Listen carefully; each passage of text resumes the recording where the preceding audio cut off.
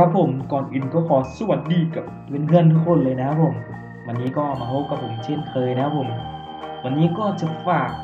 จะมาฝาก trick นะครับผม trick เล็กๆน้อยๆนะครับผม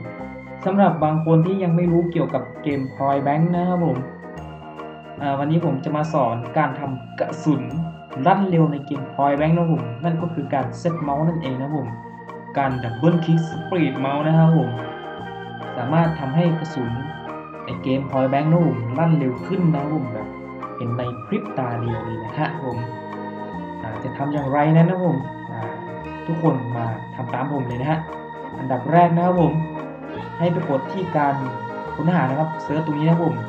เซิร์ช Windows นะครับผมแล้วก็ลืมไปเดี๋ยว key นะครับผม keyตัวภาษาอังกฤษนะครับผมเดี๋ยวผมคอนโทรลให้ดูก่อนนะครับผมนี่นะฮะ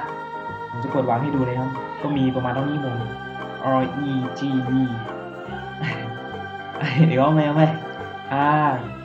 ฟังสำเนียงดี R G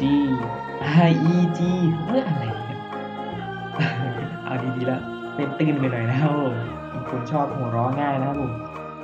ก็มี R E G E D I T นะครับผม มีมานี่เดี๋ยวผมจะทิ้งไว้ใต้คลิปนะครับผมให้เพื่อนๆไป ก๊อปมา ไปก๊อปมาแล้วก็มาวางนะครับผมอ่าก็มี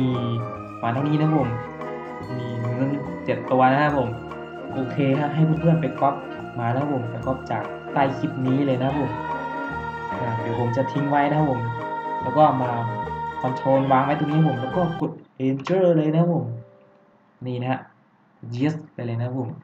ประมาณนี้นะผม บางทีเพื่อนๆจะไม่ขึ้น yes นะผม เออ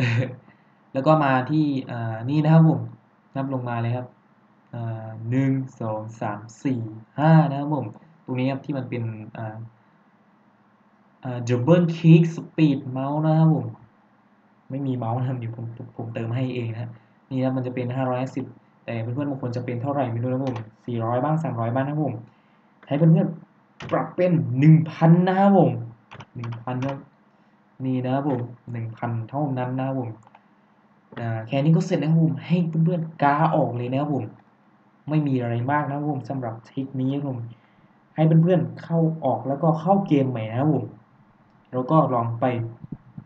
รุยเลยดีนะครับผมกระสุนมันจะ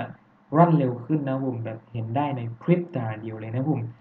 วันนี้ผมก็ฝากไว้แต่เพียงเท่านี้นะครับผมฝากเพื่อนๆช่วยกดไลค์กด subscribe ผมด้วยนะครับผม